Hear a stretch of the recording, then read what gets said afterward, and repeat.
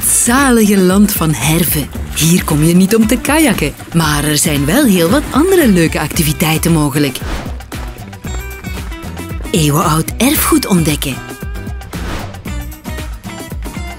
Enkele van de mooiste dorpen van Wallonië bezoeken.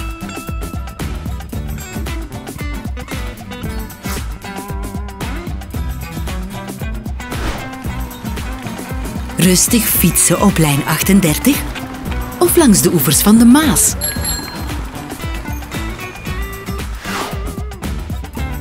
Reizen op het water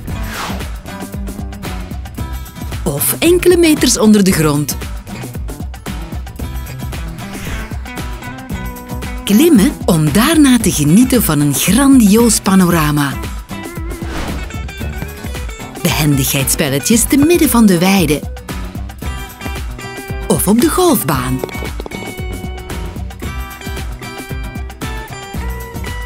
Wegmijmeren op herdenkingsplaatsen.